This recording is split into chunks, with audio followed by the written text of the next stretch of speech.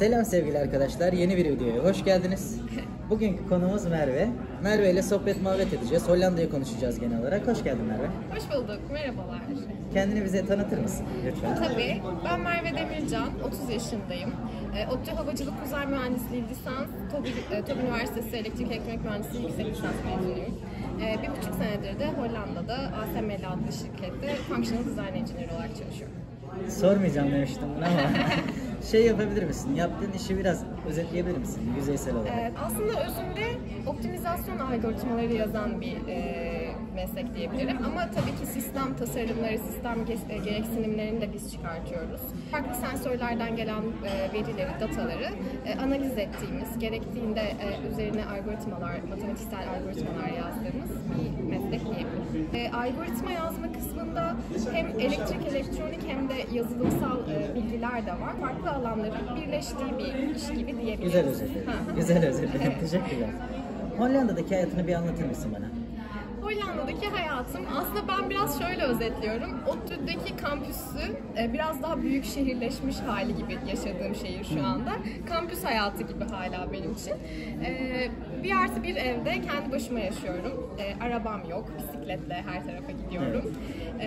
Tren de sağ olsun yardımcı oluyor şehirler arası gezmekte. E, hafta içleri iş, e, hafta sonları genelde seyahat ya da böyle e, voleybol gibi spor e, aktivitelerine de katılıyorum. Sporculuk yapıyorum burada. E, genel olarak böyle diyebiliriz. Boş zamanlarında ne yapıyorsun? E, iki farklı takımda voleybol oynuyorum. E, birisi kendi çalıştığım şirketin takımı, bir tane de burada federasyonun kadınlar takımında oynuyorum. Onun dışında e, uzun zamandır yapmak istediğim e, faaliyetler vardı. İşte dans kursu, bale kursu olsun ya da böyle yakın zamanda ona da bakıyorum at binme gibi. O tarz şeyler de buralarda mevcut. E, o kurslara gidiyorum. E, bol bol yürüyüş yapıyorum. E, bol bol sanatsal aktiviteleri takip ediyorum. Avrupa'da olmanın e, tabii böyle faydaları oluyor sanatsal faaliyetlerde. O şekilde diyebilirim. Ya burada şöyle bir şey var. Bunun özellikle şu yüzden de merak ediyorum. Hani biz haftada 40 saat çalışıyoruz. Evet. Üstüne de çalışmıyoruz. O yüzden genellikle 2-3 tane hobisi oluyor. Geziyor, yeni şeyler öğreniyor, kitap okuyor. Bir herkes bir şey yapıyor yani. O yüzden özellikle seninkileri merak ettim. Bahsettiğim gibi yani kiminle konuşsam zaten ilk olarak sordukları şey hafta sonu ne yapıyorsun? Evet. Aynen ya da böyle hobilerin neler? Böyle saymaya başlıyorsun bir tane e başka diyor. iki, Yetmiyor üç bile. yetmiyor, Yetmiyor. aynen bir tane yetmiyor yani. Ya bu da güzel yani sizi zenginleştiren şeyler. yani. Kesinlikle. Peki Hollanda'da nasıl iş buldun? Öncelikle tabii ki LinkedIn üzerinden başvurduğum yerler oldu. Ee, bu süreçlerde de e, aynı zamanda kendi üniversitemdeki networklerimi de e, takip ediyordum. Kendi üniversitemden bir e, mezun arkadaş e, sistemden mail attı. E, bir aracı firmanın ismini söyledi ve e, insan alacaklarını söyledi ve e, mülakat tarihleri vardı. Onlara başvurdum. Orada e, Türkiye'ye geldi bu şirket ve mülakat yaptı bizimle. Öncesinde bir kod sınavı oldu. Onu geçtik. Sonra yüz yüze mülakat yaptılar. O mülakatlardan sonra da şey dediler hani biz sizinle çalışmak istiyoruz. Gelir misiniz? Ama o aşamada hangi şirketle çalışacağım belli değildi. O bir aracı firma aslında. Ve hani sen kesinlikle bir iş bulabilecek potansiyelde birisin diyor. Hani senin iş bulamama şeyin bende. Bunun garantisini ben veriyorum. Sana iş bulacağız. Ee, ama şu halde gelir misin? İş bulana kadar da bu aracı firma benim maaşımı ödüyor, işte yardımcı oluyor falan. Ee, sonra ben buraya geldikten sonra da birkaç tane şirkette beni görüştürdü, bana e, mülakat ayarladı. İşte DAF bunlardan birisi, işte ASML bunlardan birisi. Bunlarla ben görüştüm ve hani teklifler aldım. Sonra da ben kendim e, seçtim. Zaten bu süreçte ben bir hani arayıştaydım. Özellikle LinkedIn üzerinden çok fazla e, yer- yerle görüştüm. Hani Bu aracı şirketi görmüş müydün daha önce? Ee, şöyle bir şey benim aracı şirket sisteminden haberim yoktu. Hani buraya gelince fark ettim. Böyle de bir iş profili varmış aslında diye. Ee, Güzel seni dürterek dürterek Aynen. e, biraz şey yaptım. Gelmek istediğim bir konu Evet. vardı. Hani nasıl faydalı olabiliriz diye. Aracı firmalar genellikle gerçekten böyle atak yaptıkları için ben de aracı firmayla geldim. O yüzden hani bunu da bir tavsiye olarak verebiliriz. Evet evet kesinlikle verebiliriz. Ee, ve şey de rahat oluyor. Buraya ilk geldiğinizde network anlamında ya da böyle buradaki hayata alışmak anlamında daha e, yardımcı oluyorlar. Ben öyle gördüm. Büyük şirketlerdense küçük aracı Kesinlikle. şirketler Mükemmel söyledin. Aynen. O yüzden iyi oldu yani o şekilde. Birebir gelmiş bunun aynısını ben de yaşadım. Aracı şirketle geldim. Sonra beni ASML ile görüştürdüler. İşte ASML kabul etti. Bir yıl ASML'de çalıştım. Sonra ASML dedi gel artık bizde çalış. ASML'e geçtim. Aracı firmayla gelmenin avantajları var çok fazla. Çünkü genellikle küçük şirketler oldukları için size her türlü yardımı sağlıyorlar. Özellikle insan kaynakları konusunda. Çok ulaşılırlar. Yani. Evet Anında sürekli problemlerinizi çözüyorlar. Mesela partner vizesi için biz Anastasia ile başvurduğumuzda yine bayağı yardımcı olmuşlardı. Kurumsal büyük şirketler genellikle bu kadar yardımcı olmuyorlar. O yüzden aracı şirketle gelmenizi kesinlikle tavsiye ediyorum. Ama bunda şöyle bir negatif var bir yandan. Belli bir süre içinde de iş bulman gerekiyor. Yani normal kurumsal şi- şirket üzerinden geldiğinizde tamam onlar o kadar yardımcı olmaz ama işiniz garanti hangi şirkette çalışacağınız belli. Aracı ile geldiğinizde de maalesef hani 3 ay içinde kesinlikle planlamalarını onlara ona göre yapıyorlardır. Çünkü size relocation package veriyorlar, maaşınızı ödüyorlar, yardımcı oluyorlar her konuda. 3-4 ay içinde de bulmanız gerekiyor. Bu konuda zorlanan arkadaşlarım bildiğim insanlar var. Özellikle bundan da bahsetmek istedim. Kesinlikle yani o aslında onların aldığı bir risk ama yine de sonuçta sizi sonsuza kadar besleyemezler yani belli bir süre dilimi içinde sizin de başka bir şirketten kabul almış olmanız gerekiyor yani. Ben iki ay içinde aldım. Neden özellikle Hollanda'ya geldin? Neden Hollanda'dasın ya? Bize bir bunları Neden anlat. Hollanda iş yaşam dengesi e, şeklinde indeksler var ve dünyada en iyilerden biri. Yani iş hayatınız ayrı, e, sosyal hayatınız, kendi özel hayatınız ayrı ve bunun dengesini çok iyi e, sağlayabilen ülkelerden birisi. Mutluluk oranı çok yüksek burada. Hani bunlar e, önemliydi. Maaşlar diğer Avrupa ülkelerine göre daha yüksek. Tabii harcamalarınız da ona göre daha yüksek ama yine de işte ilk başta o bir çekici geliyor. Ee, sonra şey doğası çok hoş. Yani ben çok severim zaten doğada vakit geçirmeyi. Ee, insanlar e, İngilizce biliyor. Herkesin İngilizce bilmesi benim için büyük rahatlık. Çünkü e, bazı ülkelerde çok zorlanabilirdim. Burada 7'den 77'ye herkesle e, iletişim kurabiliyorsunuz. Her derdinizi İngilizce bir şekilde çok çözebiliyorsunuz. Rahatlık oldu. Benden önce çok e, fazla insan Hollanda'ya geldiği için bir insanda bir güven hani safe zone mu denir hani evet arkadaşlarım var falan hani, o gittiyse iyidir falan şeklinde bir referans oluyor. Ee, o yüzden de bir şey rahatlık vardı. Öyle. Yani aslında şeyi de açıklamış oldum biraz. Hollanda'da neler hoşuna gidiyor. Evet. Ekstra Evet, evet. eklemek istediğin bir şey var mı Hollanda'da hoşuna giden şeylere? Yani her şeyin düzenli olması, rahat olması, insanların çok rahat olması, iş hayatının... İnsanlar çok rahat yani Evet. gerçekten. İş hayatının çok rahat olması, fazla mesai yapılan e, bir yerden de geliyorum işte savunma sanayinde falan da çalıştım. Orada hani gerçekten deadline'lar e, çok e, yakın ve çok fazla fazla mesai var. İşte bayram, seyran dinlemeden yapılan işlerin aciliyeti nedeniyle hani tatile çıkmanız sıkıntı, uzun süre tatil alamıyorsunuz vesaire. Burada yani siz tatile gidiyorum dediğiniz an hani ben izin alıyorum dediğinizde kimse şey yapmıyor. Hayır alamazsın şunu yapacağız falan gibi. Ya bunu görmedim. Bu büyük bir rahatlık. Yani bir gidip böyle bir ay üst üste tatil alabilen insanları görüyorum ve bu şey yaptı beni. "Aa, Böyle olabiliyormuş gerçekten diye. Aydınlanıyorsun ya. Şu an mesela hani 40 iş günü tatilim var benim. Yetmedi mesela. Yetmiyor. İnsan da böyle işte nankör bir varlık. Vermezsin. e, çalışmaz. Çalışır çalışır sesini çıkarmaz. Verirsin daha fazlasını ister. İnsan da böyle bir varlık. Yetmedi yani. 40 gün yetmedi gerçekten. Arkadaşımı gördüm geçen havalimanında. Cumartesi günüydü. İşte bir yere gitmesi gerekiyormuş. Şimdi ismi şirket hiçbir şey vermemek istiyorum. Hani zorunlu olarak çalışıyoruz dedi mesela bazı bazı cumartesileri. Ama Avrupa'da kesinlikle böyle bir şey olmayacak sevgili arkadaşlar. O yüzden bu çok önemli yani. O cumartesi pazarın size kalması, haftada sadece 40 gün çalışmak, iş hayat dengesi. Neden bunu söylüyorum? Çünkü zaten hayatımızın %70'i falan aşağı yukarı işle geçiyor. Yüzde geri kalan da eşle geçiyor. O yüzden ikisinin seçimine çok dikkat edin. İkisinin seçimi çok önemli. O yüzden %70'i hayatımızın işle geçiyorsa işi doğru seçmemiz lazım. Birkaç gün şey oldu böyle ben artık işte atıyorum beş buçukta mesai bitiyor. Ben işte altı olmuş, altı buçuk olmuş daha oradayım. İşte benim birimimden benden daha yetkili biri geliyor saati gösteriyor. Merve evine git artık falan hani daha kalma artık burada falan niye kalıyorsun? Hani böyle bir şey de tepki de beklemiyorsun. Alışmışsın çünkü hani işimi yapayım falan ama hayır eve git diyor. Şey diyorlar mesela o da çok ilginçti. Eğer sen zamanında yetiştiremiyorsan bu senin problemin değil. Bu işin planlanmasında bir sıkıntı var demektir. Bu yöneticilerin problemi. Hani ve bu çok iyi bir aydınlanma noktasıydı benim için. Gerçekten öyle. İyi planlanmadığı için benim fazla çalışmam gerekiyor diyorsun. Yani bu Kabullenmişsin bana, bunu yaş- aynen. hissettin yani Güzel sen. bir aydınlanma oldu. Peki güzel güzel konuşuyoruz Hollanda'yı falan. Hollanda'nın kötü yanlarından bahseder misin bize? Biraz Bakalım. saydıralım. Şimdi Dark Side açılsın mı? Biz birbirimize böyle çok sıcağızdır, çok e, herkes herkesle her şeyi paylaşır, yardım etmeye çalışır. Böyle çok iç içe bir toplumuz aslında. Buraya geldiğimizde şey hissettim, biraz hani soğuk, ku- kuzey insanı biraz daha soğukmuş bunu fark ettim. İşte herkes daha kendi hayatına dönük. E, belki de böyle olması gerekiyor. Evet onun da doğrusunu Bunu bilemiyoruz. da bu arada. bilemiyorum ama işte bir alışkanlık, alışmışlık var.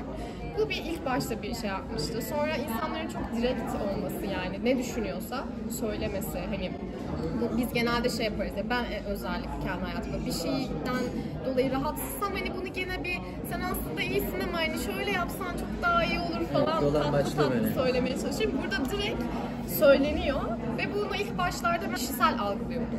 Ama aslında o kişi işle ilgili konuşuyor. Hani bunu da öğrendim biraz personal almamayı. Ya bu negatif bir şey mi bilmiyorum ama ilk başta negatif geliyor tabii. Ee, sağlık sistemi birazcık sıkıntılı. Evet, geldik konuya. ya gerçekten Türkiye cennet dediğim noktalardan cennet. birisi yani.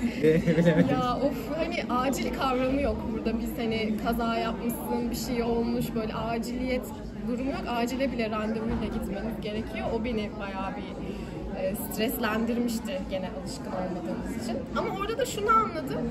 E, bizde de Türkiye'de de mesela başı ağrıyan Evet. geliyor hastaneye. Hani karnı ağrıyan geliyor. Bu da doğru değil. Ortasını bulmak lazım aslında. Aynen bir de hava durumu birazcık negatif. Havanın gri olması. ki- Valla çok kibar anlatıyor. Yani. Şimdi ben biraz sertleşmek istiyorum. Biraz daha Sa- önce bir sağlık konusunda ben bir hikaye anlatmak istiyorum. Sonra havaya da yeteri kadar Tamam, yardıracağız. Tamam. Yani sonuçta bizim kanalımız değil mi? İstediğimizi söyleyebiliriz. Şimdi benim geçen peynir keserken elimi böyle lak diye kestim parmağımı. Normalde hastaneye gitmeyi de ben hiç sevmiyorum gerçekten. Gitsem mi gitmesem mi diye düşünürken hiç durmuyor. Ondan sonra tabii ilk defa gideceğim hastaneye de. Baktım dur- durmadığı için de gitmem lazım. Sonra acili aradım doğal olarak. Gelsinler beni alsınlar diye. De bu da yanlış da bir mantık da ama yine de en azından yaşadığım olayı ilk olduğu için size bir anlatayım. Kimse açmadı. Önce bir hastanenin lokasyonunu buldum. Gitmem oraya bisikletle 45 dakika falan işte taksi çağırsam 25 euro falan ödeyeceğim. Gidiş dönüş 50 euro. Bunu da vermek istemedim. A- atladım bisiklete. 45 dakikada hastaneye gittim acile. Sonra bana diyor ki randevu alman lazım diyor. E bu acil bir durum. Hani zaten ben bileceğim? hani yaşadıklarımı anlatıyorum. o da var. Nereden bileceğim yani? ilk defa gidiyorum. Şu an doktor sayısı yetersiz. Hani biz sana yardımcı olmayacağız da getirdik. Lan parmağım kanıyor. Tuvalet kağıdını sarmışım gelmişim. Ya işte bir bir de şey bilmiyorum. Sürmüşsün 40 Bir de bisiklet taksi de pahalı ne yapayım Ya, yani hani. Ondan sonra işte allem etti, kullem etti, bana sırayı verdi. Sonra tabii insanlar gelmeye devam ediyor. Birisinin kolu çıkmış böyle adam kolu çıkmış orada bekliyor. Sonra kendi kendime de şöyle bir dedim adam orada kolu çıkmış bekliyor. Sen de dedim hani dünyanın en acil şeyi değil yani. Bunu dikiş atacaklar geçecek. Sonra kendimi sakinleştirdim. Sonra sistemi de yavaştan anlamaya başladım. En azından gelmeden önce hastanenin de kendini ona göre ayarlaması lazım ya. Randevu o yüzden mantıklı bir yandan düşünüyorum. Ama hani insanın da sonuçta canı acıyor. Sonuçta benim sadece parmağım kesildi ama çok da ekstrem durumlar da olabilir. Evet evet. Hani ne Türkiye'deki kadar kolay gidilebilmeli. Yani ikisinin de ortasını bularak sağlık hani bu kadar zor da çözülmeyecek de bir şey de değil ki yani bu. Kesinlikle. Yani o bir orta yolun bulunması gerekiyor. Bizdeki de doğru değil, buradaki de Evet. doğru değil yani. Seninle bir de şey konuştuk yani hayat kurtarmak diye bir amaç yok gibi sanki. Evet yani bir yok gibi ya hakikaten. Gene prosedürleri uygulamaya çalıştıkları için de bir şey var. Bekletiyorlar, bekletiyorlar. Bir de şey orada da dikkat ediyorlar. Mesela bir hasta baktı ya sonra doktor gidiyor ara veriyor, bir rahatlıyor, çay kahve içiyor falan. Evet hava açtı. Hemen bir hava konusuna değinmek istiyor musun? Hava Güneş. biraz bir güneşlendi şimdi. Güneşlendi. Tam böyle Tam kötü konuşacağız. Güneş açtı.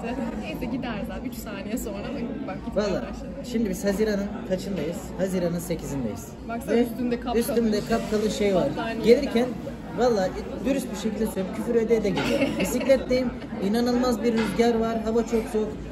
Hani, tamam bazen mesela tatile giderek bunu çözmeye çalışıyoruz da abi Haziran'ın 8'indeyiz be.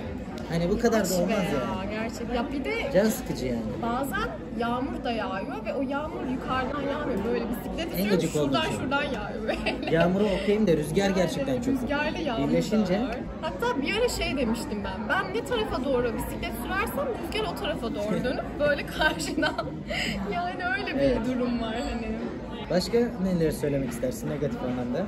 Sağlık sisteminden bahsettin, havadan bahsettin. Yemek diyebilirim. Yemek kültürü. Yani şey benim çok ya moralimi bozuyor. Mesela oturuyoruz hani karnın böyle çalışırken karnın acıkır bir şey olur. Üç kreker falan atarsın. Ona alışkınız da. Açıp böyle hani un o tarzı böyle tost ekmeklerini hani açıp da böyle yanında ekmek yiyen iş arkadaşlarımla. ya böyle mutsuz oluyorum görünce. Hani ya bir kuru ekmek yiyorsun insan biz bir şey söyle salça sür bir şey peynir sür yani. Artık şeyi de geçtim kuru ekmek yiyorlar çok üzülüyorum. Evet, evet. Çünkü yemek beni mutlu eden, mutluluk sebeplerinden biri. E burada bu kadar önemsiz olması beni çok mutsuz ediyor. Ya bir de şöyle bir şey var. Restorana gidiyorsun. Zaten dünyanın en pahalı ülkelerinden bir tanesi burası. İsviçre, Hollanda işte kuzey biraz pahalı. Bu kadar yani işte 5 tane daha ülke eklesen ilk ondadır yani. Abi restorana gittiğinde iyi yemek yiyebilmen gerçekten neredeyse imkansıza yakın. Ve buna çok da para ödüyorsun hani. Bu can sıkıcı. İkisinden birisinin olmaması lazım. Kötü yapın, ucuz olsun. Bir şey demiyorum. ya da hani iyi İyi yapın, yapın. Pahalı olsun ona da bir şey demiyorum yani ama ikisi de birleşince gerçekten sinirleniyorum ya. Geç Rusya'daydık işte. iki hafta boyunca ben Rusya'daydım Anastasia ile beraber. Abi kendimi zengin hissettim ya gerçekten. Ruble mesela zaten yarı yarıya düşmüş euro karşısında. Hani dışarı çıktığım zaman 5-6 tane kokteyl içiyorum. İçiyordum. Hani kişi başı. Ya donatma sayındayım hani getirin abi getirin. Özlemişiz hem iyi özlemişiz. Everything, everything. Yağdır abi yağdır ya. Biri gidin menü falan. Ne böyle var ulan yağdır ya. Vallahi o moddaydım. Ke- keyfim yerine geldi. Sonra Hollanda'ya geldim. Hava kötü. Bir ton şimdi sorumluluk var falan. Hayat tekrar başlıyor. Öyle neyse ben çok konuştum. Sonuçta benim röportajım değil. Ben Yok yok konuşabilirim. ya aynı aynı dertler aynı yani. Böyle. Söylemek istediğin başka negatif ne var? Onun dışında çok bir sıkıntım yok gibi ya. Ya benim şey biraz canımı sıkıyor. Hani konuyu detaylandırmak için anlatıyorum. Hollanda hani kaliteli bir hayat var falan. Onun üzerinden bir puan versem ben, ben mesela mutluyum gerçekten. 9 9,5 çok rahat veririm. Kişiden kişiye değişse de bu. Ama abi Hollanda'da şu var. Her şeyin en basiti var burada. Hem eğlence oluyor diyelim şimdi. Karnaval olacak ya da ne bileyim kral günü kutlanacak. Ulan bir DJ çağırın. Tamam? Mahmut Orhan'ı çağırın. Hani bir eğlenelim şurada. Ya ne bileyim. eğlenme anlayışı yok ya. Bak haklısın. Ama sadece o- işte genel olarak o- oraya bağlayacağım. Müzikte, eğlencede de böyle, yemekte de böyle. İşte zaten bunu ben bir gün anlatacağım. Hollandalılar da bu yüzden mutlu. Çünkü hayattan o kadar da inanılmaz beklentileri yok yani. Her şeyin o yüzden burada basiti var. Mesela bu basitlik bazen hani insan şımartılmak istiyor yani. Bunu- Bunu da söylemek istiyorum. bir kalite arıyor değil Evet, mi? Bir, bir kalite evet. değil. ya şey konusunda haklısın. Ben de mesela belki eğlence anlayışlarımız da uyuşmadığı için olabilir ama bu özellikle önemli günlerde belli bir şarkılar var böyle tekno tarzı böyle sü- sürekli aynı ritimde ve herkesin elinde işte içeceği dikiliyor. Hani hani şu an eğleniyor olmamız gerekmiyor? Hani Evet, evet. dans edeceğiz, mutlu olacağız falan. O, o yok yani. Sadece duruyorsun ve içkini içiyorsun falan. Gece hayatı da çok Hani kötü. o da öyle. Aynen çok kötü. Mesela hani, duruyorsun. canlı müzik yapan bir yer var sadece. Ay bir tane. Sürekli de orada Evet karşılaşıyorum. sürekli orada karşılaşıyoruz. Aynen. Onun dışında ben bayağı bir bara gittim. Oraya denedim, buraya denedim. Abi 70'lerin 80'lerin müziği falan çalıyor. Uyuz ediyor beni. Gin tonik içiyorum zaten ona bir ton para veriyorum. Kimse eğlenmiyor falan. Saçma sapan ne bileyim ya. Enteresan. haklısın. Ama mutlu muyuz mutluyuz. Ben en azından kendi adıma söyleyebilirim. Şimdi sana da bunu sorayım madem. Hollanda'da mutlu musun? Mutluyum ya. Ben de şey diyorum, işte basic ihtiyaçlarım karşılandığı sürece Hollandacının kafasına vurmaya çalışıyorum birazcık ama ya şey, ya büyük bir sıkıntım yok. Tabii bazı e, problemli gördüğüm şeyler var ama hani geldiğim için mutlu muyum diye sorarsan mutluyum. Çünkü hani iş yaşam dengem çok e, yerinde şu anda ve kendime çok fazla vakit ayırabiliyorum. İstediğim, denemek istediğim şeylere çok fazla vakit ayırabiliyorum. Hobiler ya da gitmek istediğim yerlere gidebiliyorum. E, bu açıdan. Bir de Hollanda'dan böyle çok güzel uçak biletleri var başka yerlere ki ben seyahat etmeyi çok severim. Ya tabii konu aslında şuraya geliyor. Hani ben de mutluyum ama olumsuzluklardan bahsediyoruz. Ne, neden mutluyuz? Çünkü bazı şeyleri takaslıyorsun aslında. Herhangi bir yere göç ettiğin zaman İspanya'ya göç etsen de mesela alım gücün düşecek ama güneş olacak, deniz var. Yani sonuçta hiçbir yerde yüzde yüz mutluluk yok. Evet o yüzden neleri takaslıyorsun? Mesela o yüzden sana sordum. Dedin ki mesela ge- gezmek çok hoşuna gidiyor. Buna ek olarak iş ve sosyal hayat dengesi. Yani kafanda bir şeyler takaslayıp bu terazinin bu ağır basmış evet, yani. Aynen zaten ya benim gelme amaçlarımdan biri de şey rahat seyahat edebilmek, iş yaşam dengesi olan bir yer olsun ki hani ben kendime vakit ayırabileyim. Buraya gelme amacınızla alakalı aslında. Eğer amacına uygun bir yere gidersen mutlu olursun. Ama gitmezsen o seni mutsuz eder. Niye geldiğinizi düşünmek gerekiyor aslında. Evet. Aynen kişiden kişiye değişiyor ve kişisel bir şey yani. Aynen. Burada uzun süreli kalmayı düşünüyor musun yoksa giderim ya da Türkiye'ye dönerim Ee, gibi uzun düşüncelerin var mı? Düşünmüyorum açıkçası. Mutluyum ama. hayat aynen. Mesela hani olumsuzluktan bahsettik çok ilginç. Olumsuzluktan bahsettik. Mutluyum dedim de uzun süre kalmak istemiyorum. Hayat çünkü burada şey gibi. Roller coaster. Evet, evet. Yani mutluyum falan Ya da kalp atışı grafiğine de benzetebiliriz gene aynı şekilde.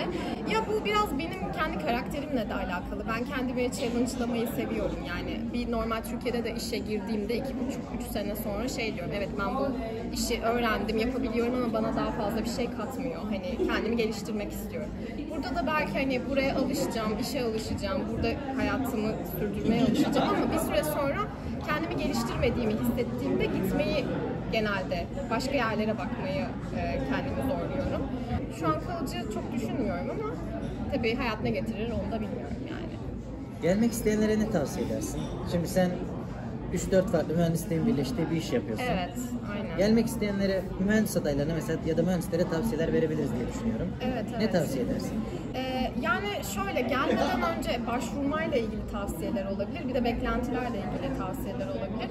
Ee, başvururken ben e, LinkedIn üzerinden e, bu şey open to work yapıyorsunuz ya kendinizi. E, o şekilde yaptığınız zaman insanlar daha kolay ulaşıyor size. Bunu yapmanızı tavsiye ederim. Çünkü bu sayede ben bir sürü e, iş teklifi almıştım. Ve sürekli aktif olmanızı tavsiye ederim. Yani böyle 5-6 yere başvurup olmadı diye çekinmek yok. Aynı Yani şeyi anlattım geçen. ya 200 300 ya benim olmuştur 300 falan yani.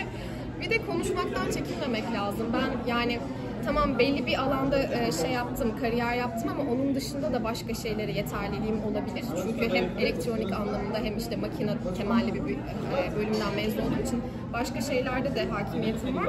Hani her yere uygun olabilecek yerlere başvuru atıp onlarla da olmayacağını düşünseniz bile en azından konuşun. Çünkü her konuşmada size farklı bir vizyon da katıyor karşınızdaki kişi. Ben mesela o yüzden Kore'de Kore ile de konuştum, Japonya'daki bir fir- firmayla da konuştum, Amerika ile de konuştum. Hani herkesin ne aradığını da öğreniyorsunuz. Aktif olmak gerekiyor. Motivasyonu sürekli yüksek tutmak gerekiyor. Ondan sonra insanlara ulaşmaktan da çekinmemek gerekiyor. Yani mesela bir şirkete girmek istiyorsunuz ya da bir pozisyonda ilerlemek istiyorsunuz. Açın LinkedIn'i ya da sosyal medyayı ya da neyse onda giden orada çalışan kim varsa yazın, mail atın. Yani korkmayın bu tarz girişimlerden. Çünkü bazısı cevap verir vermez ama illaki siz en azından denemiş olursunuz. Ee, geldikten sonra da ya da buradaki beklentiler açısından da şöyle bir şey söyleyebilirim. Kimse size kucağını açıp sizi burada beklemiyor yani. Hep bazı videolarda görüyorum hani Avrupa şöyle güzel, böyle güzel, böyle medeni ama aslında işte demin bahsettiğimiz gibi negatif yanları da var. Ee, hani o yüzden çok büyük bence beklentilerle de gelmemek lazım.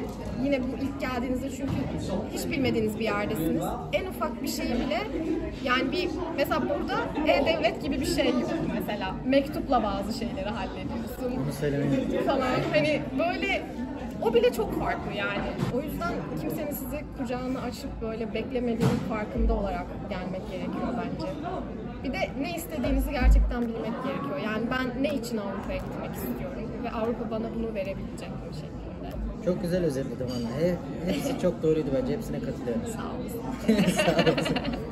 Sevgili arkadaşlar umarım siz de bu videoyu beğenmişsinizdir. Eğer Merve'ye özellikle sorunuz varsa lütfen sorun çekinmeyin. O da elinden geldiği kadar yardımcı olur zaten. Sosyal medya hesaplarını da yine videonun açıklamalar kısmına kesinlikle bırakacağım. Bizi izlediğiniz için çok teşekkür, Teşekkür ederiz sevgili ederim. arkadaşlar.